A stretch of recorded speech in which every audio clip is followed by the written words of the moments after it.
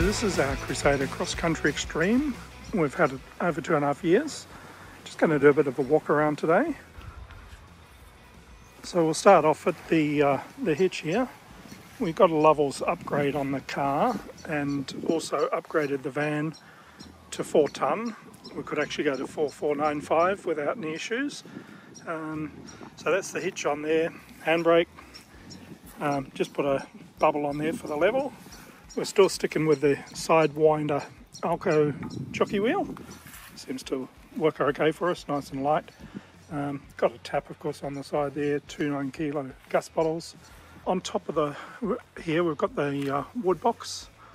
We do like the front window, um, just for sleeping at night. You can have it a bit open and get a cross cross breeze. It's good. Um, the light bar up there we've used a couple of times. Does put out a lot of light, that's for sure. If you were hitching up at night, you'd be very thankful. Anyway, I'm just going to climb up here first without killing myself if I can and just uh, have a quick look up on the roof.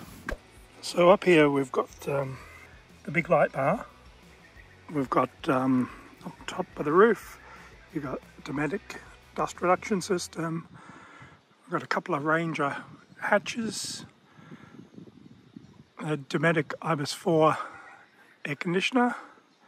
The Winegard antenna attached to that is the Selfie Go. Now down the back, if you can see them there, there's a couple of um, rain sensor hatches that are aftermarket. And down in the corner, I've got SatKing, which we wouldn't uh, wouldn't get again. Um, just don't use it. Same with the Winegard antenna. We would get something different next time. As for solar, we've got uh, three 210 watt solar panels. Um, I wish we'd had a fourth or fifth on there. Uh, definitely room for a fourth if we configured it correctly. Anyway, that's about it for up here. Okay, on this side here, we've got the jerry can holders, both sides. Um, barbecue slide. I did put a tube under here for uh, our fishing rods. Not that we've used that too much. And the other side here, the uh, trail safe. Got a um, another slide on here for a if you're wanting to uh, carry a generator. Tunnel work goes right through.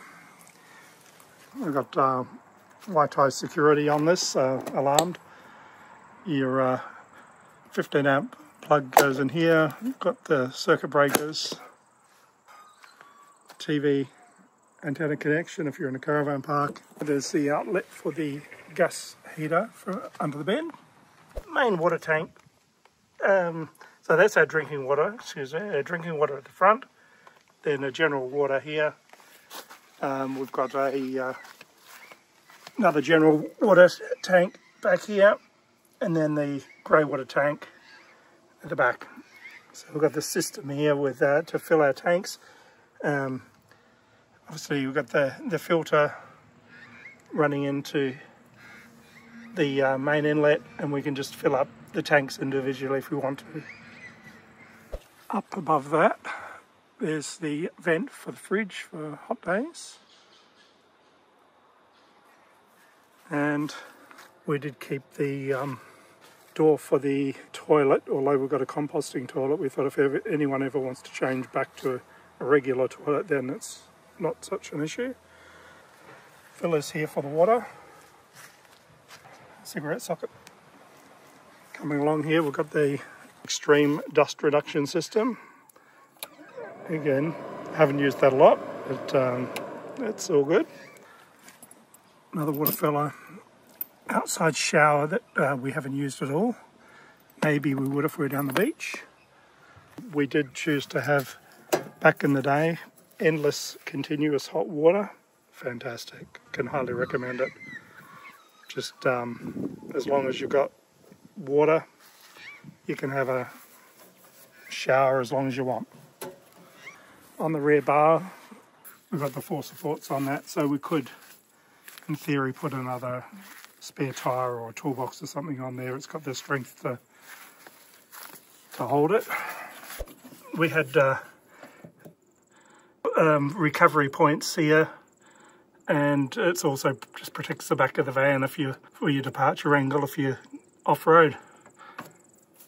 Um, up the top, rear reverse camera, or uh, rear camera, sorry, and light. There's a light around the other side as well. Now, a couple of little tunnel boots at the back. I'll just show you this side. So when you're on level ground, it's a bit high to reach this one, but um, we use it for stuff we're not using too often. Just had, um, we did have a water leak in this one, so we've had um, that repaired, a new door on here. Uh, so we've had checker plate put in the bottom, so I think that's an improvement. And it's all sealed up, still smell of fresh silicon in there. Got the outdoor speakers, courtesy light here. Um, it's pretty bright in the in the dark, I must say. A Dometic awning. I did put lens reflector tape on these to make them orange, keep the bugs away. We've got two fold down tables. Always handy to have a second one. TV hutch here, a couple of power points, so we've got socket again. The out, outside um, power point I would recommend to get. It's just much easier than having to open this all the time. The router I'm considering uh, putting into this um, box and just putting a, a boat bung so I can have that plugged in and turned on all the time without it sitting out on the table here. Now down here we have got the good stuff. Airbag suspension with remote control. So you get to site, you can just press the buttons to level it. Pretty much self levels, but it's better to do it with a remote control and do it manually. You can watch videos on how to do that, but it's just you get to a, a campsite and you can just uh, pump one side up. As, as you can see, this is really low on this side and we've got it quite high on the other side. So um, great thing. Uh, wouldn't get a van without um, without it, I must say. Up here is the uh, AL-KO IQ7 for the brakes and the tunnel boot It goes all the way through. Gives us heaps of space in there. And we're back around the front. And that's about it. So that's our cross-country extreme. Things that we would change.